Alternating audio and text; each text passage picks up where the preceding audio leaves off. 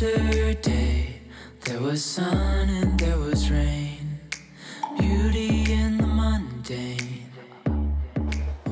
どうもこんにちは。モノグラフの堀内です。今日も動画を見ていただいてありがとうございます、えーこのチャンネルモノグラフではもう様々なね完全ワイヤレスイヤホンご紹介してるんですけども、えーちょっとですねまた素晴らしいねイヤホンが出てきちゃいました、えー今年の完全ワイヤレスイヤホンもしかしたらランキングねえ1位に選ぶ可能性があるなと正直ね思ってるイヤホンがえ出てきたので、えー今日はねそれについてお話をしていこうと思います。はい。それがこちらですね、えーテクニクスからね発売されました、えー EAH-AZ60 っていうね名前の、完全ワイヤレスイヤホンになってるんですけどもこれかなりね、出来のいいイヤホンだと思いますのでこれについてね今日は詳しくお話をしていこうかなと思います。あの名門オーディオメーカーテクニクスの最新作なんですけど、えー先にね要点まとめるとこのね3点だと思っております。一つはもうとにかく便利すぎるマルチポイントの接続ができるっていうところ。2つ目に、えー高品質な、通話機能を持ち合わせている点で最後にですね、えー非常に深く没入感のある音質ですね、えーかなりこれはね僕好みのね音質、えー持っています。この3点を中心にこちら詳しく見ていきましょう。ではまずはこちら本体の外観から詳しく見ていこうと思います。こちらが今回の新しいねテクニクスの、えー完全ワイヤレスイヤホンになってます。結構ね本体自体は割とねちっちゃめですね、えーこんな形で厚みが薄めのコンパクトな、えーケースになっております。で充電の方式は USB Type-C ですね、えーここから充電をすることができて、えーこのね、えー正面にランプがついていてこのランプによって残りの電池の残量をね確認することができます、えー結構ね僕はこのテクニクスのイヤホンデザインねかなり好きなんですけど、えーこんな形でこうメタル感のね強いイヤホンで割とねこうミニマルで、えーこうすっきりとした、えーデザインになってると思います。テクニックスのワイヤレスイヤホンは、え70シリーズってねものが別にまたあったりするんですけども、えそれよりもですねかなりこの筐体はコンパクトになったなっていうね印象がありますね。でここはタッチの、えセンサーになっていて、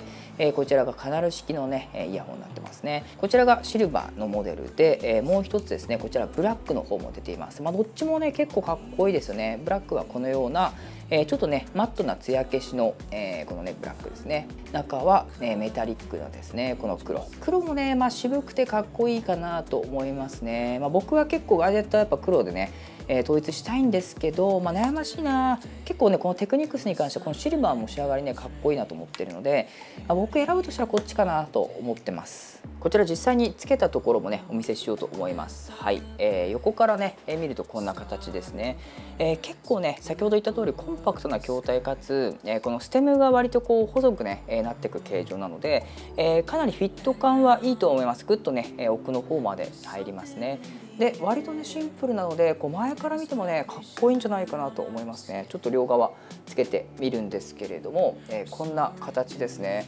あシルバーやっぱかっこいいな。なんかちょっとしたねこうアクセサリーみたいな感じで、えー見れるぐらいの、えーこれねえデザインの良さあると思います。これすごい気に入りましたね。あとこのイヤホンの、すごくいいところですね。これタッチで操作できるんですけど、ほとんどのね機能がこのイヤホンの中でできます。音量の、上下上げ下げだったり再生停止もできますし、えー曲送りもできます。ノイズキャンセリングとアンビエントサウンドの切り替えですね。こういったところも全てこのね、イヤホンだけで行うことができます。結構完全ワイヤレスイヤホンって、この音量の上げ下げをね、こちらの本体スマートフォンの方じゃないとできないっていうことが結構あったんですけどこれに関してはですねここで音量の調整もできるので非常にねそこはねいいポイントですね。でこちら本体は IPX4 の防水性能を搭載しているので多少のね運動とか水の濡れには強い仕様になっています。でえ充電の持ちなんですけれどもこちら本体だけで7時間でケース込みだと24時間という形ですね、えこの単体7時間っていうのはね、まあ、そこそこ長い方かなと思うんですけど、えーこのねケース込み24時間っていうのはちょっとね他の完全割れ製法に比べると若干少なめだったりすると思います。ケースがねコンパクトな仕様になってる分ですね。その分ちょっとバッテリーの性能が落ちているっていう形ですね、まあ、ここはまあトレードオフというか好みのね問題になるかなと思います。はいではここからが本題になってくるんですけれども、えーこちらねテクニクスのワイヤレスイヤホンえーいいところまず1つ目ですね。これマルチポイントの接続に対応しています。これ、えー詳しい人だったらねもうそれだけ伝わると思うんですけどもこれはですね同時に、え2つのデバイスに Bluetooth で常に接続をしている状態ですね。これを作ることができるのがマルチポイントっていうね機能になってます。マルチペアリングっていう似たような言葉があってこれとねちょっと混同しがちなんですけれどもマルチペアリングっていうのはこういろんなデバイスねそれぞれにこう Bluetooth の接続の設定をね残しておける、えー、こうねすぐに接続ができるようになるっていう機能なんですけども、えー、マルチポイントに関してはですねもう本当にこの MacBook と例えばスマホねこれね両方同時にですね接続した状態でイヤホン使えるっていうことに、ね、なっています。これはすごく便利な機能で例えばこのスマホでね音楽聴きたいなっていう時はこのスマホからねポチッと押せばこのイヤホンの方にね音楽流れてきますしこちらの MacBook でこう YouTube のね映像を見ながら音声もねこう聞きたいなっていう時はこの MacBook でその YouTube の動画再生すればこちらのねイヤホンの方に音声が入ってくるっていう形なんですね。これは本当に画期的ですね。今まではそれぞれデバイスが2つあったらペアリングをいちいち切り替えてで音声を再生しなきゃいけなかったんですけどもこれは常につながった状態でどちらからも音声を流せるっていう機能なんですね、まあ、結構この完全ワイヤレスイヤホンねいろいろこういろんなモデルが出てきてでいろんな進化遂げてるんですけど、まあ、やっぱりね次はこのマルチポイントこの辺りは本当に標準になってくるんじゃないかなと思います。やっぱりねこういちいちこのイヤホン側でこう切り替えたりねするのは割と面倒なんですよね。今みたいにこういろんなデバイスを持ってる時代ですと。この辺りのデバイスの切り替えって今までで言うと AirPods Pro とかねあれがかなり優秀だったんですけどもマルチポイントってまあちょっとそれを凌駕しつつあるというかね、えー、こう切り替えというよりはもう常にどっちもつながっているっていうものなので、まあ、これが使えるのはね非常に嬉しいですね、まあ、これが使えてなおかつね、えー、この後お話しする、まあ、とにかくねこうオーディオ機器としても素晴らしいっていうところこの2点ね両立してるのがねすごいところだと思います。続いて2点目のポイントでマイクの音質ですね。これもね非常に良くなっております、えー、こちらですねそれぞれ4機、えー、合計8機のマイクがこれ搭載されていて、えー、ちょうどね、えこの声を発する場所このビームフォーミングでこう焦点を当ててそこのね音声をこう抜き取るという技術をね採用しておりますでちょっとね実際に、え試してみた音声があるんでこちら聞いてみてくださいアーティスです。今ですね、こちらのテクニクスのイヤホンを使って音声を収録しております。今回ね、かなりマイクが高性能になっているので、えー、音声自体も聞き取りやすい、えー、声にね、今聞こえてるんじゃないかなと思います。今パソコンの画面につないで、こちらのですね、テクニクスのイヤホンで話をしております。まあ、やっぱこうやって見ると、見た目かっこいいですよね。これめちゃめちゃやっぱ好きだな。はい。えー、こんな形で音声収録してみましたので、えー、ぜひ参考にしてみてください。続いて3つ目のポイント音質ですね。これもね非常にこのモデルね僕はねすごい好きです。とてもねいいと思っています。こちらのモデル AZ60 では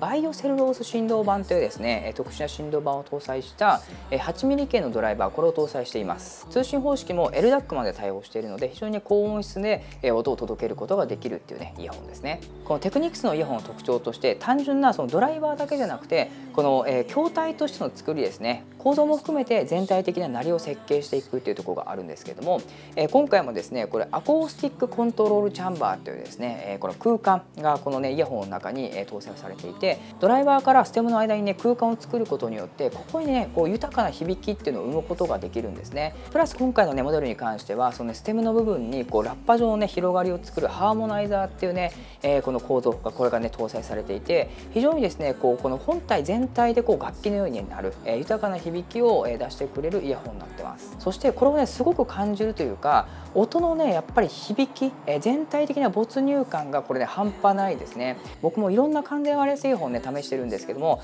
テクニックスのイヤホンのこのね音の沈み込み重低音にすごいずっしりとした重低音に包み込まれる感覚。これは本当にねこうずば抜けてると思いますね。音の広がりとか多方からねこの音が聞こえてくる感じ。これねもうほんとゾクゾクします。久々にねイヤホン聞いてね背筋がねこうゾッとしました。テクニクスのイヤホン前のモデルねレビューした時にも言ったんですけどもしこのねテクニクスのイヤホンを買ったとしたらですねあのビリー・アイリッシュマジで聞いてほしいです。あの本当にビリー・アイリッシュって本当にこうねボワボワした低音の中でささやくようなウィスパーボイスって曲が多いんですけどそれがねもうたまんないんですよ。すごく広くて密度のあるこう音のね低音の中でもうここでねビリー・アイリッシュが支えてるんですよね。それだけこのね音の表現がね多彩というかえ本当に繊細な音え中音域高音域で繊細な音も出せるし、え包み込むようなね豊かな低音も出せるっていうですね本当にこう視聴体験として音楽聴く上ではね本当に楽しいイヤホンだなと僕のね好みのね、え音のねイヤホンだなと思ってます。他にも語りたいポイントはたくさんあってまずはノイズキャンセリングの性能ですね。これも非常に高いです。あの結構ね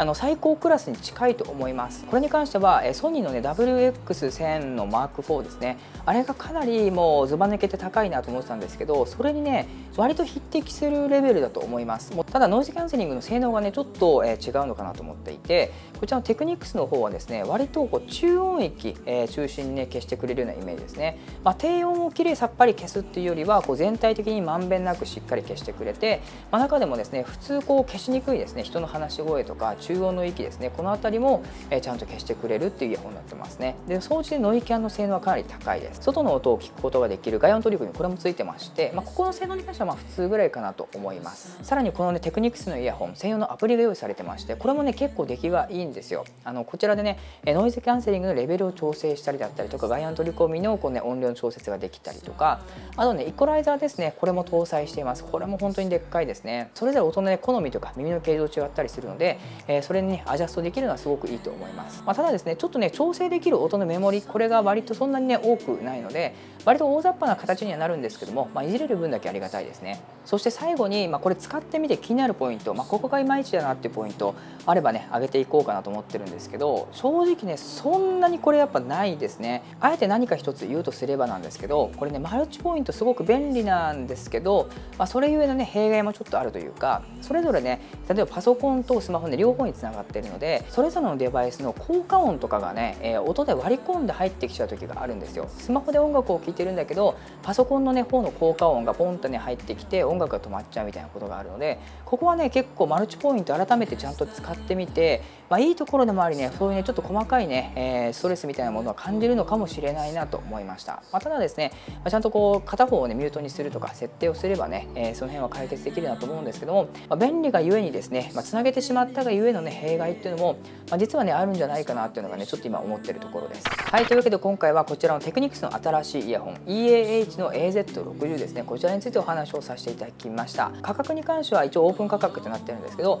まあ、大体ね市場想定価格としては2万9000円前後という形で、え販売予定とのことです、はい、で合わせて、えこちらよりもねもうちょっとこうコンパクトでノイズキャンセリングとかはついてないけどこう値段の安いねモデルの、え AZ40 っていうものもね出てくるのでもしノイズキャンセリングいらないよって方はですねそちらの方もチェックしてみてもらえると嬉しいです、はい、でまあそれをね、え価格とかいろいろ踏まえてのね、え僕の最終的な、まあ、結論、えこんな形の評価かなっていうものをまとめてみたんですけど、まあ、こんな形ですね、まあ、総じてもレベルが高いです。もう音はね、え非常に、えいいですし、え先ほど言ったね利便性ですね。マルチポイントの話だったりとかあと操作のところですね。ここも非常にしやすい。でノイズキャンセリングの性能も高いしアプリもついているっていう形でなかなかねこれもすごいイヤホン出てきちゃったなと思います正直今年の完全ワイヤレスイヤホンもね本当にレベルが高くて、まあ、去年のこうワイヤレスイヤホンランキング、えー、出した時点でここからね、まあ、どんだけもう進化できるのかなっていうふうにちょっと不安に思ってたところあったんですけどそれをね大きく超えてくるというかもう今年の中でね、まあ、この、えー、テクニックスのイヤホンもそうですし、まあ、これと匹敵するようなイヤホンがですね本当にこうやっぱ3つ4つぐらいあるんですよね。でその中からま年末にね、まあ、どれが一番、まあ、僕がね好きなのか僕が選ぶのかっていうのをねこう決めようかなと思ってるんですけどそれぐらいね本当にこうレベルの高い戦いが今年も繰り広げられております。そしてその中で確実にねこう上位の中に入ってくるなと思うのがねこちらのテクニックスのイヤホンですね、はい。まあ、またねいろいろこう使ってみてで最終的な結論はね年末出そうと思うんですけれどももしね、完全ワイヤレスイヤホンね、え好きな方はねそちらも楽しみにしておいてもらえると嬉しいです。現時点でも深い没入感を味わいたいとか、え完成の高いイヤホンが欲しいっていう方は、えすごいね、え合ってるイヤホンだと思いますのでぜひね概要欄にリンク貼っておきますのでそちらの方も、えご覧になってください、はい。えー、こんな感じでこのチャンネルモノグラフではよくねこういった完全割れ製法のお話してますしあとはねガジェットとかインテリアのお話もねよくしておりますのでもしこの動画が参考にになりましたら是非他の動画を見ていただけると非常に嬉しいです。はい。それではまた次の動画でお会いしましょう。モノグラフの江内でした。バイバーイ。